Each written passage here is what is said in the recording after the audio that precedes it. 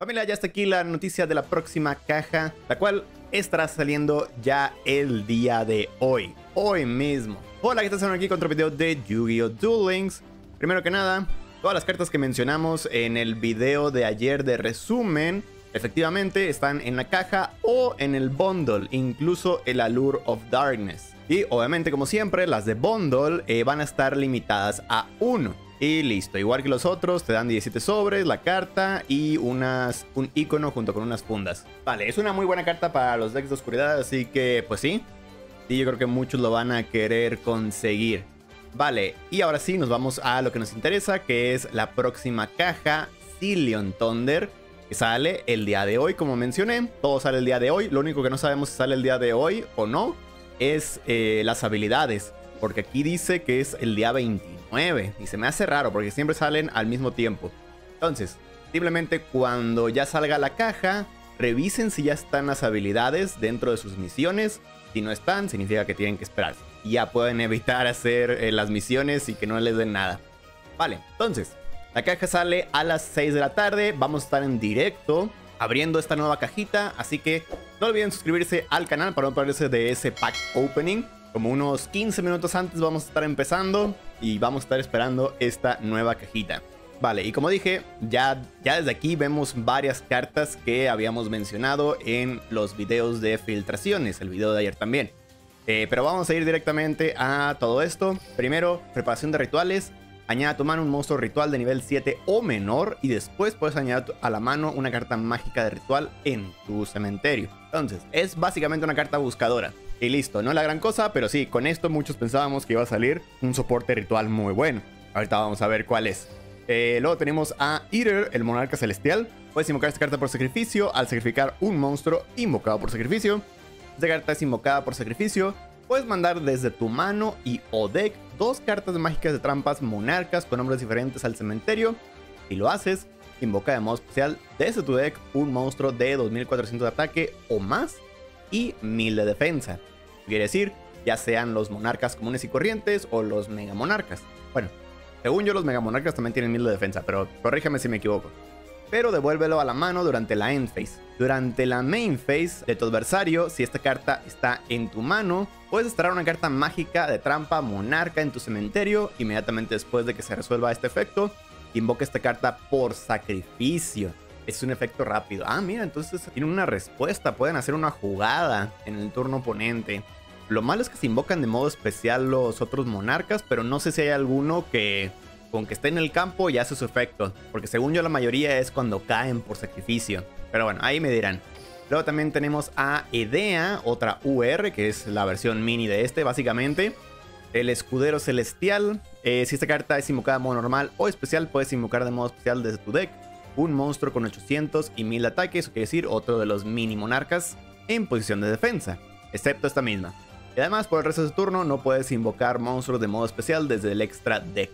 Si esta carta es mandada al cementerio, puedes seleccionar una de tus cartas mágicas de trampa monarcas desterradas, añádela a tu mano.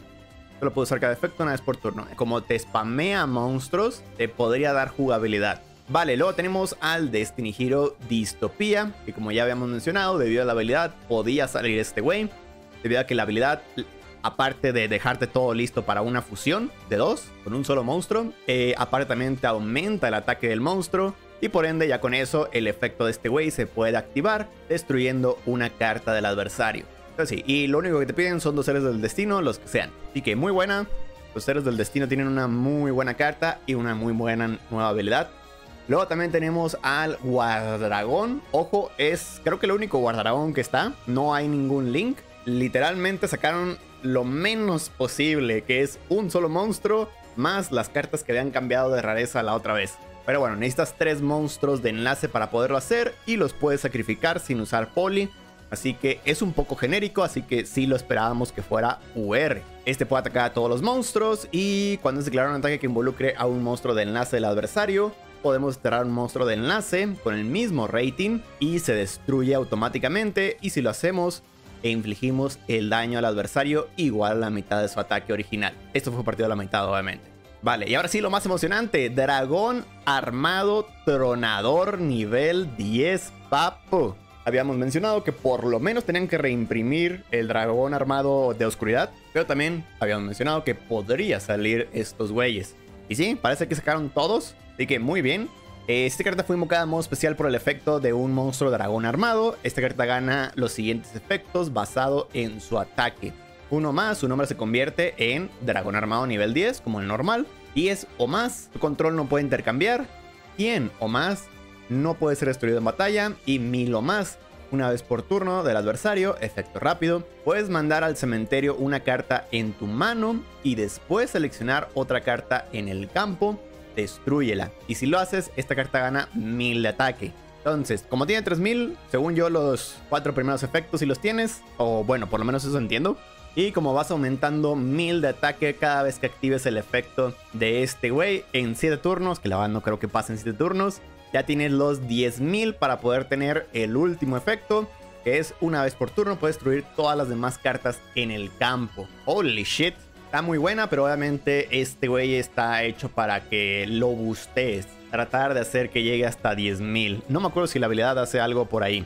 Pero bueno, ¿cómo lo sacamos? También tenemos el dragón armado tronador nivel 3, que es el primerito. El nombre de esta carta se convierte en dragón armado nivel 3. Mientras está en el campo cementerio, solo puedes usar cada uno de los efectos una vez por turno. Puedes mandar al cementerio un monstruo en tu mano.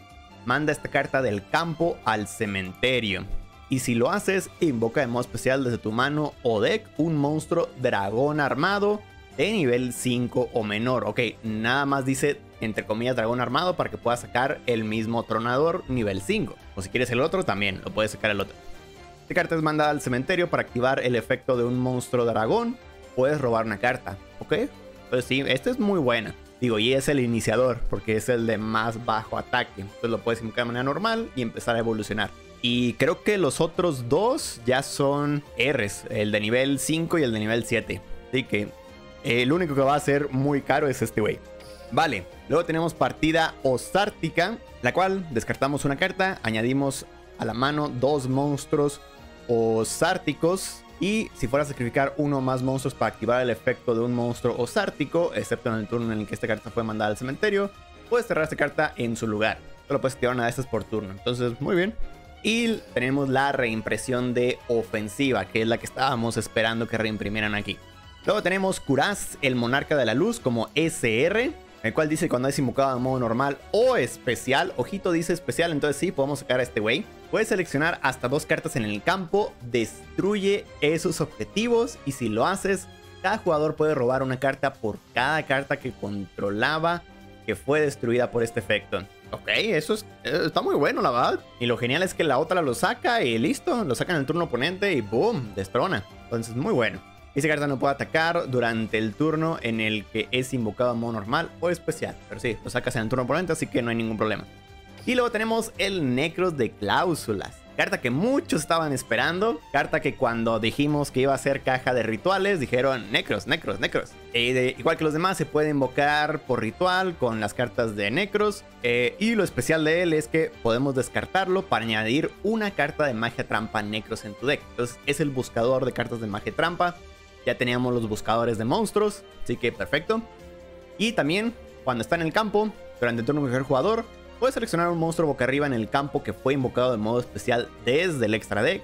Hasta el final del turno, el ataque de su objetivo se convierte en cero y además ve sus efectos negados. Entonces, está decente la verdad. Sí es una carta que los necros van a querer meter. Y también, esta puede ser buscado por la carta UR.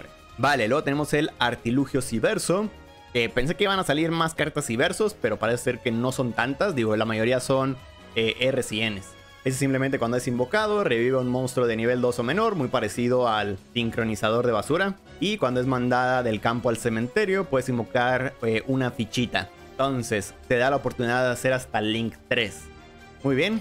Y luego tenemos al héroe extra conductor maravilla. Habíamos dicho que era posible que empezaran a salir los héroes extras debido a que la habilidad mencionaba monstruos links. Pero como parecía que eran links genéricos, pues dijimos, no, pues igual no es necesario que salga. Pero bueno, Necesitas dos monstruos héroes para poder hacer esto, entonces cualquier deck héroe lo puede hacer. Y un monstruo héroe es invocado en modo normal o especial a tu zona a la que apunte esta carta. Selecciona en tu cementerio una carta mágica polimerización, una carta mágica fusión o una carta mágica de juego rápido cambio. coloca ese objetivo. Entonces, cualquier deck que estés usando te puede recuperar una de tus cartas de magia. Lo puedes activar esto una vez por turno si esta carta es destruida en batalla y mandada al cementerio. O si en tu posición es destruido por efecto de una carta del adversario y mandada a tu cementerio. Invoca de modo especial un monstruo héroe en tu mano. Ah, el malo es que es de la mano. Pero bueno, está bien, está decente. Es una carta que los héroes sí van a querer meter. Simplemente para tener otra jugada. Para tener otra opción. Pero igual y nada más se mete una. Vale, y tenemos a los espíritus del Kendo, de las artes marciales japonesas, los cuales son péndulos y las cuales sus efectos es, eh, si invocas de modo especial una carta, te regresan estas escalas a tu mano. Entonces lo que haces es poner las dos escalas, invocar por péndulo a otro güey, estas dos se regresan y luego sacrificas al primer güey que invocaste de manera normal para invocar a estos güeyes y ya con eso activan el efecto de monstruo. Ya que todos son de nivel 5 o 6, no me acuerdo. Pero sí, esa es la jugada de esto. El problema es que pues son espíritus, entonces siempre se van a estar regresando a la mano. Vale. Luego tenemos el dragón armado nivel 10 blanco, papu. No pensé que fueran a sacar todas las cartas de los dragones armados nuevas. Pero bueno, este güey no puede ser invocado en modo normal colocado, debe ser invocado en modo especial por su propio efecto. Puedes traer monstruos dragón armado en tu campo y o cementerio cuyos niveles totales sean iguales a 10. Invoca esta carta de modo especial de tu mano y después puedes añadir a tu mano un velo blanco en tu deck. Ojito, la habilidad te pone precisamente tres monstruos, no, tres o cuatro, no me acuerdo. Pero sí, te pone algunos monstruos en el cementerio y también los convierte en oscuridad por si quieres convocar al dragón armado de oscuridad. Entonces, tenemos las opciones. Eh, no recibes daño de efectos al comienzo de la damage. Esta carta ataca. Puedes destruir una carta en el campo. Uf, papu. Puedes estar limpiando campo con este güey. Entonces, muy buena. Luego tenemos a la Riliona, la Magistus. También esperábamos que sacaran soporte Magistus, pero parece que es la única, o bueno, es la única que he visto hasta el momento. Necesitas dos monstruos lanzadores y conjuros de nivel 4 con atributos diferentes. acoplamos un material para invocar de modo especial otro monstruo Magistus desde el deck, pero no podemos invocar nada de modo especial excepto Magistus. Mientras esta carta está equipada a un monstruo, puedes seleccionar un monstruo de efecto que controle tu adversario, niega sus efectos hasta el final de su turno y listo, es lo único que hace. Entonces está decente para el deck de Magistus, pero bueno, necesitan un poco más de soporte. Luego tenemos ahora sí a los Orsárticos, los monstruos sincros. Synchro 7 no puede ser invocado por sincronía. Debe ser invocado de modo especial desde el extra deck, mandando al cementerio dos monstruos que controles con una diferencia de nivel de 7. Entonces, un cantante de nivel 8 mayor y un monstruo de sincronía que no sea cantante. Básicamente se refiere a que hagas la resta es un poco la dinámica de los sincros oscuros. Pero bueno, dice, niega los efectos de los monstruos boca arriba que no tengan nivel y que fueron invocados de modo especial desde el extra deck. Eso quiere decir los links y los exits. Tu adversario invoca uno más monstruos de modo especial, excepto durante el damage. Puedes añadir a tu mano una carta Osartrick en tu deck. Solo puedes usar cada efecto una vez por turno. Entonces, está bien. Muy buen monito. Y también tenemos la radiación osártica, carta continua Activa esta carta poniendo 7 contadores en ella. Cada vez que uno más monstruos osárticos sean invocados de modo especial desde la mano o deck extra, puedes retirar un contador de esa carta y robar una carta. Uf, papu. Puedes acelerar muy bien tu deck. Y durante la end phase, una vez por turno, puedes seleccionar una carta osártico en tu cementerio, excepto esta, barájala al deck. ¿Vale? Recuperas. Muy bien. Entonces están buenas. Y ahora sí, nos pasamos a las dos reimpresiones. Habíamos ya mencionado, dragón armado oscuro, tenía que salir debido a la habilidad y debido a que hay un montón de cartas de dragón armado. Y también están reimprimiendo Chidori. Me sorprende que lo estén reimprimiendo ya. Pensé que nada más iban a reimprimir una y listo, pero sí. Tenemos dos reimpresiones, ya empezamos con las cartas de la nueva Selection Box.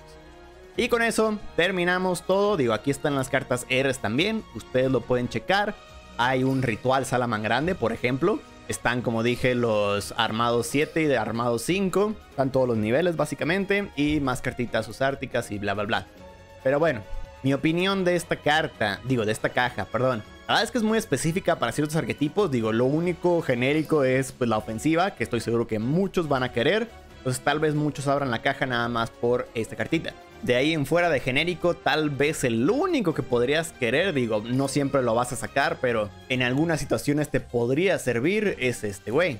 Pero con una sola copia que saques es más que suficiente. Entonces sí, la caja está más diseñada para los arquetipos. para los monarcas que tienen nueva habilidad, para los dragones armados que tienen nueva habilidad, para los osárticos y eh, los rituales, un poco de soporte para rituales. Este igual podemos considerarlo como genérica. Pero bueno, díganme ustedes qué opinan en los comentarios. ¿Te van a comprar esta nueva cajita? Por mi parte, ya saben, siempre compro las cajas, así que los invito al directo el día de hoy por la noche. Así eso sería todo por este videito. Muchísimas gracias por verlo. Recuerden dejarle like si les gustó y nos vemos en la próxima. Bye bye.